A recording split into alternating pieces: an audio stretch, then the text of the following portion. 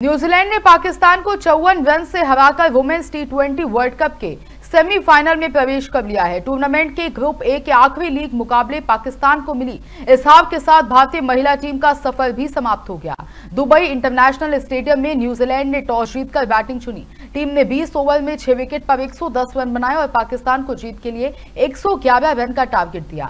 जवाब में पाकिस्तानी टीम ग्यारह दशमलव चार ओवर में छप्पन रन पर ऑल आउट हो गई। Eden Carson player of the match चुनी गई। उन्होंने तीन ओवर में सात रन देकर दो विकेट झटके।